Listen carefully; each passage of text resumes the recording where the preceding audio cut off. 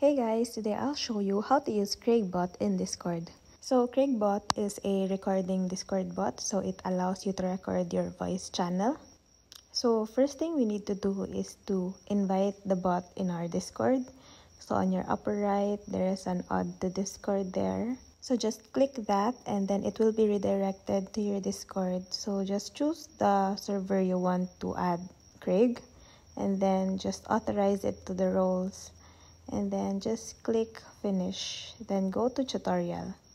Now you'll see in the welcome chat you have welcomed um, Craig in your server. So first thing is to go open your voice channel. So just go there and on the messages any messages or channel just forward slash then join channel.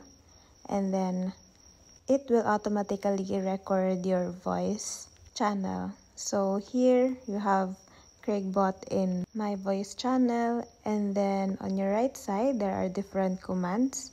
So you can add note to this recording and or you can just click stop recording if you finish recording. Or you can type forward slash stop for Craig and then it will stop recording.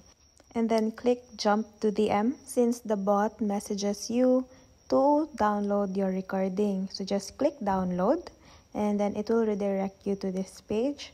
So just click anything that has a green button there. A red button means that it may have virus. So just make sure to click the the files that are um, color green.